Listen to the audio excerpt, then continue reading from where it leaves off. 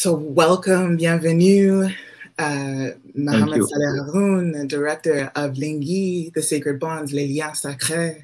Um, felicitations, it's so great to have you here. Thank you. I'm happy to be there. You know, I'm a little bit frustrated because uh, I love Toronto. I would like to be there, but well, you know, let's kill the pandemic first and then, uh, you know. Yes. Yeah. yeah, exactly. We would love to have you here but you are here with us this way. So thank, thankful for technology today. Mais grâce à la technologie, vous êtes avec nous aujourd'hui quand même de cette façon-là. Absolutely, absolutely. Yeah, you're right. But you know, uh, physical contact is very important. You know, yes. but well, let's uh, do uh, and let's let's work with technological technological uh, stuff stuff. You know, so yeah. it's just like uh, yeah. Yeah. I'm sorry, my English is uh, Je suis pas content de moi, but well. I'm not happy of myself. Oh. Okay. Because of, my, my English. English. Yeah. Your English is great. I'm I'm understanding. Votre anglais est parfait, on le comprend. Okay. Um, so. Okay, so your beautiful film, your beautiful film, Lingui, um, yeah. offers, much like your other works, a story within a story. Um, and I wonder if you might you might talk to us first about what Lingui means. Euh, votre film, votre magnifique film, euh, euh, comme vos autres œuvres d'ailleurs, Lingui, euh, est une histoire dans l'histoire. Voulez-vous nous dire c'est quoi Lingui au juste? Well, Lingui in Chad means, you know, uh, the social links that people have when they belong to the same community. That means, you know, you have to help each other. If you fell down, I have to help you, to give you my hand. It's a, a kind of philosophy of uh, live it together and uh, a precept of living in the same community, sharing the same space. So we, we belong to the same, I mean, world, and we have to help each other if there is a problem. That's how, you know, in Chad, uh, we really have huge problems, but people, you know, they arrive to resolve them because you're never alone. You belong to a community, you are part of the community, and if you have a problem, sometimes we have to help you. It's just like a duty of everyone to help each other. That's the philosophy of Lingui. Mm. And in the film, of course, that comes together or it comes um, into conflict with the laws of government and the laws of religion. Um, so there is almost an underground nature to the way that these connections must work, but also they're very everyday. And so there's a way in the film where you show them as a very everyday thing, though at the same time they must be guarded. They must be done undercover. Is that right? Euh, mais dans le film, il y a un conflit avec les lois du gouvernement, les lois de la religion, mais il y a aussi une façon de montrer des choses de la vie de tous les jours. N'est-ce pas? C'est pas ça qui est euh, retransmis ou re, euh, montré dans votre film? Oui, euh, absolument.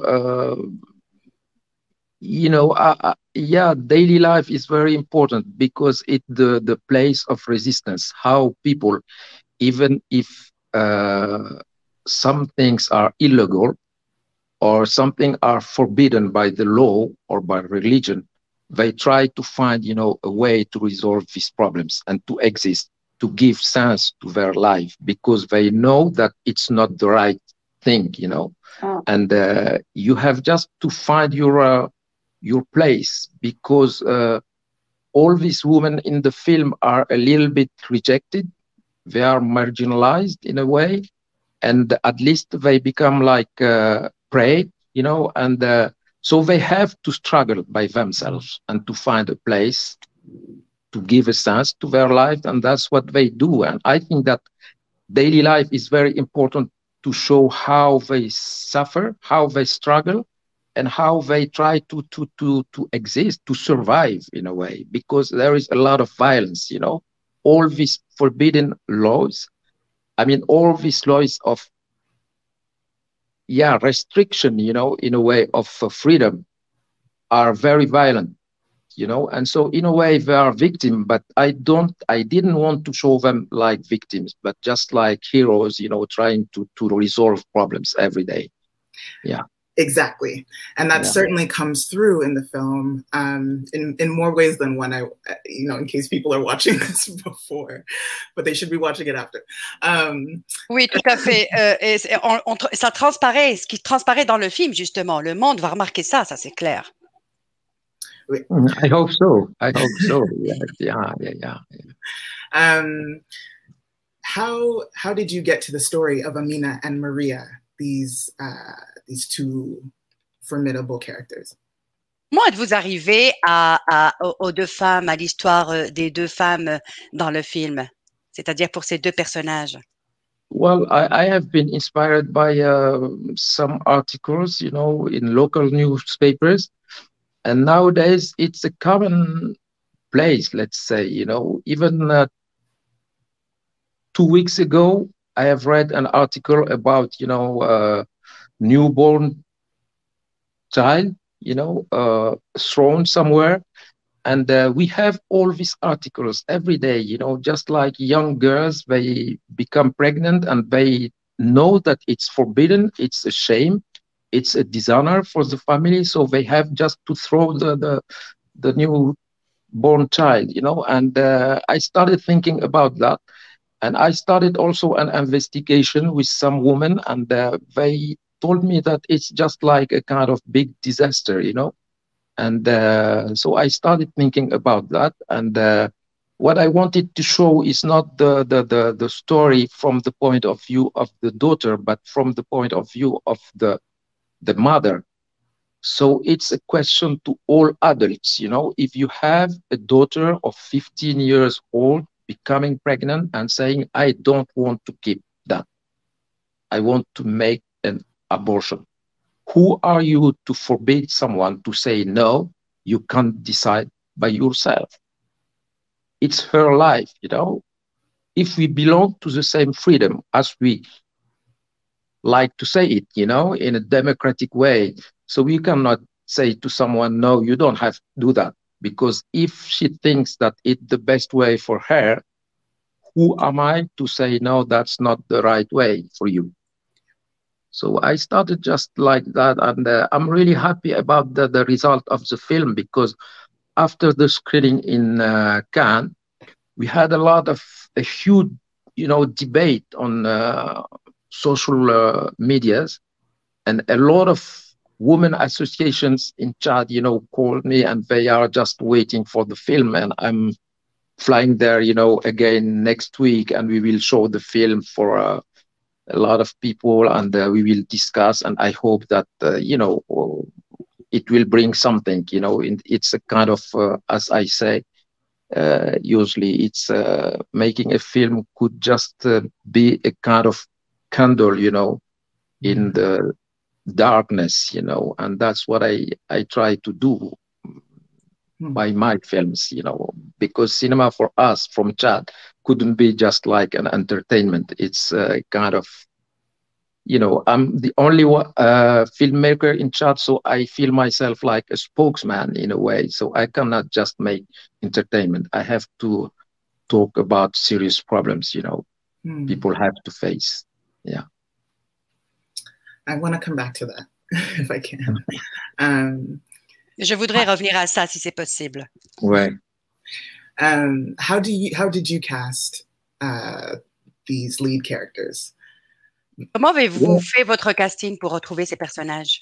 Well, it was really, you know, um, as I don't have professional actors, they are not the two. I mean, no one is professional in the film, by the way. And, uh, you know, in Chad, I don't have professional actors, so I cannot organize a big casting of 1,000 people or something like that. I don't have the budget, I don't have time. So uh, the first thing is just like my heart, my feeling, you know, and your feeling doesn't lie, you know. If you feel that this is the right person, you have to be confident with yourself, you know, sometimes and say, yeah, we will do it because it's you, because I believe that you can make it. And uh, that's how it happened. You know, I uh, know uh, Achouackh, the the main character, the mother. She worked with me in Grigri, mm-hmm. and uh, she was in a small scene in Grigri, and I found her very intelligent and so, there is something there. She has a kind of sensitive way of making things, and I said, well, maybe we'll try to make another film. And so when we start like uh, rehearsal, I was convinced that she was the right person.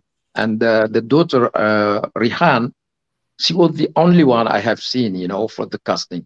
And uh, sometimes I believe to what I can say invisible, you know, ways.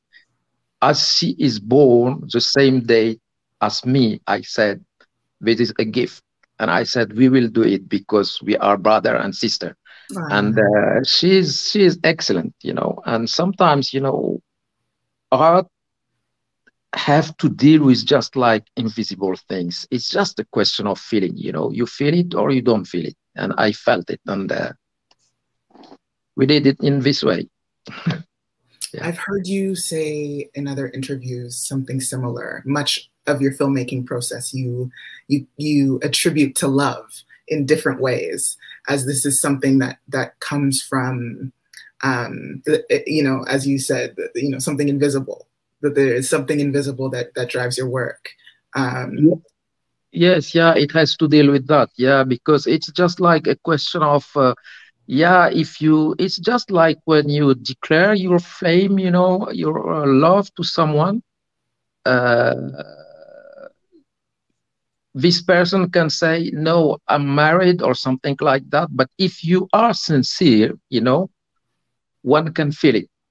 Mm. And so with my actors and actresses, I used to be sincere. You know, I fell in love with them and they feel it. And, and so they give me back something. It's also a question of love. And then we start because we are confident to each other. Mm. So, uh, yeah, this is my philosophy of uh, of uh, making films. Yeah, it's not a question of performance. It's a question of how someone can be right in what you ask to him. You know. So uh, yeah, and uh, but I'm not like.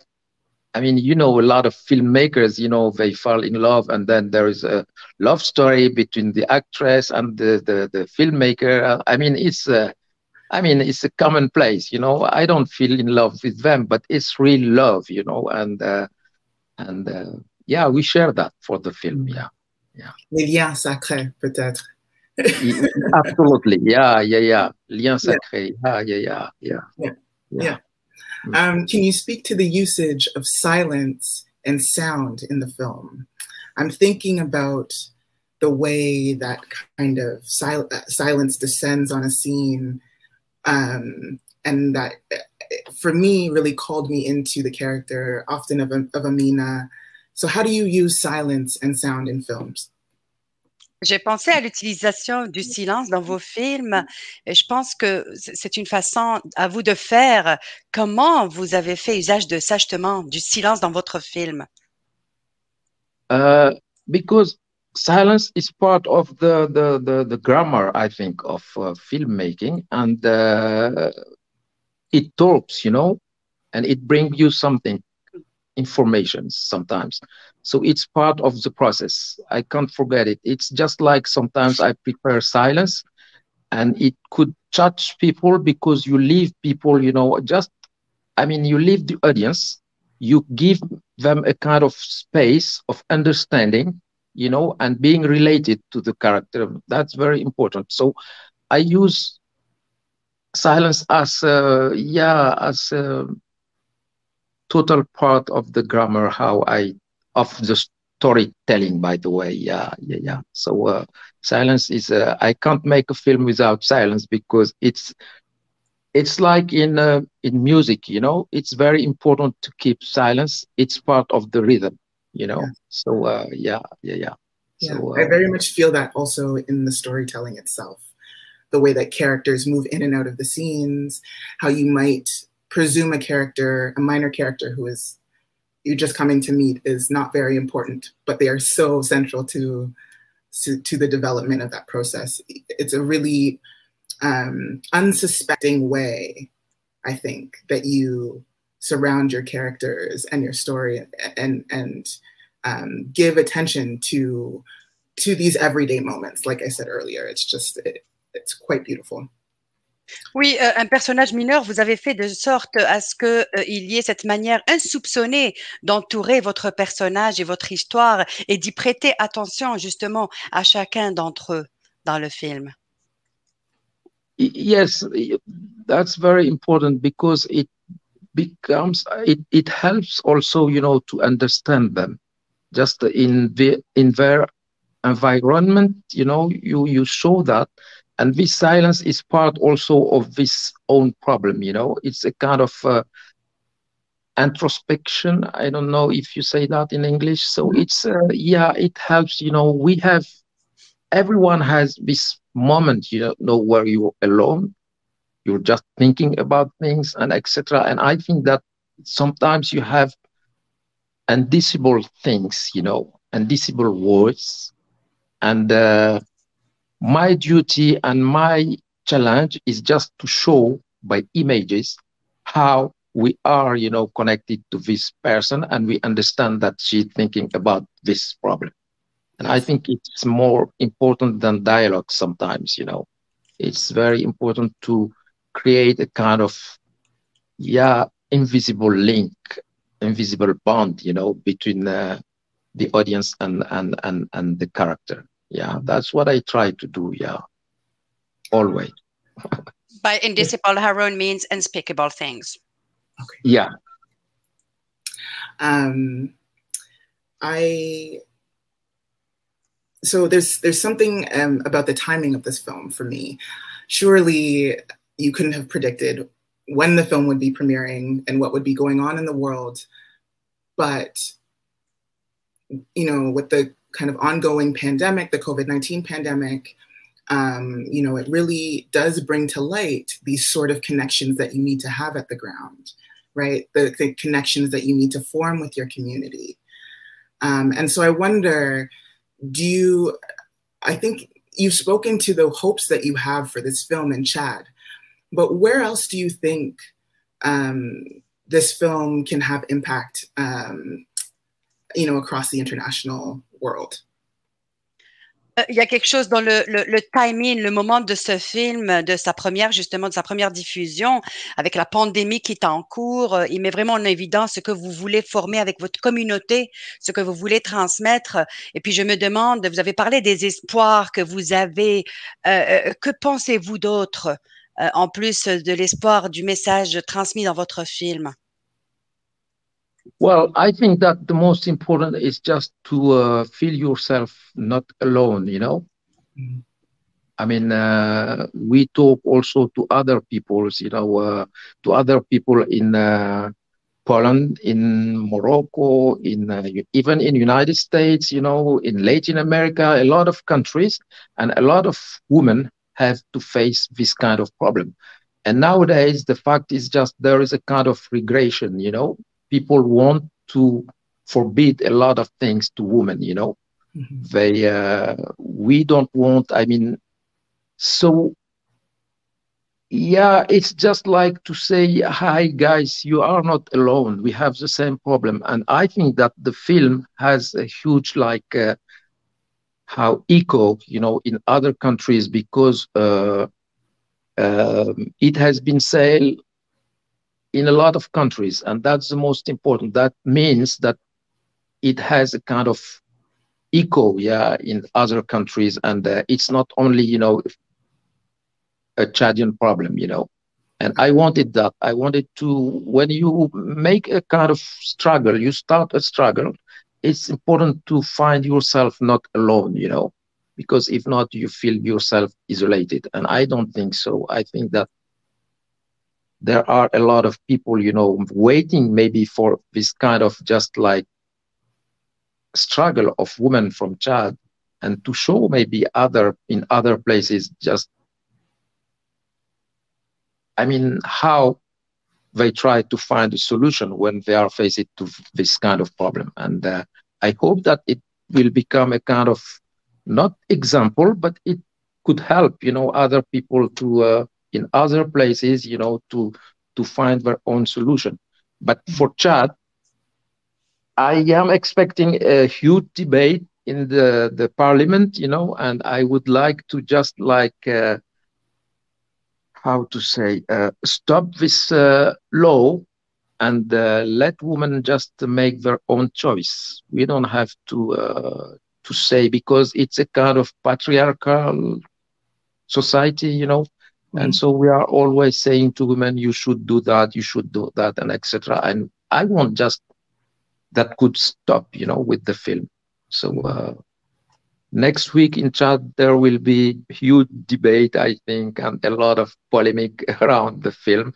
But this is the most important thing: how bring problems, the essential questions, you know, to the community, and how to provoke, you know, a discussion about this problem. But this is very important. As long as you can discuss, you can find a way, a solution. And uh, that's what I'm trying to do. I have a um, one last question that I want to ask you.